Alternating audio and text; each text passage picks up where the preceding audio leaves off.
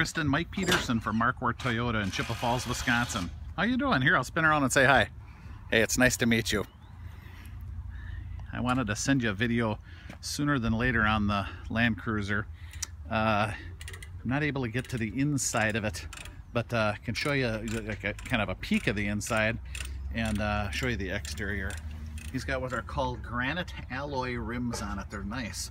And the tires are Bridgestones and they're like brand new. Tons of tread left on them. So you wouldn't have to mess with tires for ever on it. Has the composite running board down the side. Exterior wise, this thing is just fantastic. I, I, just did a quick walk around on it and it's just some very superficial scratches that'll probably be, bu be buffed off. This vehicle has not been touched since he traded it in. So they literally parked it here and uh, and it'll go uh, uh, into our recon department be cleaned here shortly. So I, got, I wanted to take a picture of it before it got sent off. Uh, to show you around back here. My assumption is that there is a, um, a hitch underneath there. Uh, and obviously the, the door is it's split in the back that opens up and then the bottom flips down pretty cool Going down the side, one little scrape that I missed when I did my walk around. One little scrape right there. And uh, it's just a tiny little dent on it too. So not a big deal. And something like that, they hopefully can buffer down a little bit and make it look a little bit better. All the rims are just fantastic and obviously the tires.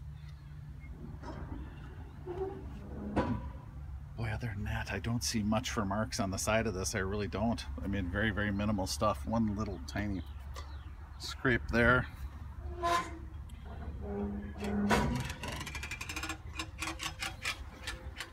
And we're building a brand new building here, so kind of fun.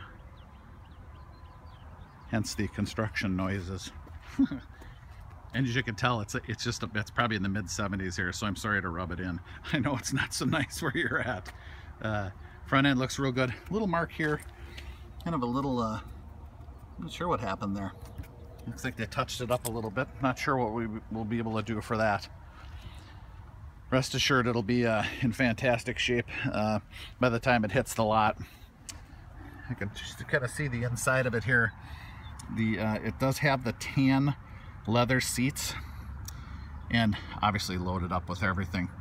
Uh, and the reason I wanted to get inside of it too to see if it was a smoker unit. My guess is it's not, but and I'm not sure if you can see in there or not, but the backs of the headrests have um, uh, video monitors in them and for DVD. So both of the headrests, so that's pretty fantastic. So they must have splurged, obviously, because that's not factory. So pretty cool. So anyway, wanted to show you this. I'll get you a better uh, look of the inside and the rest of it uh, as soon as I possibly can. It'll probably be a few days before this gets cleaned and ready for the lot, but uh, at least we have the ball rolling, okay? Thank you so much.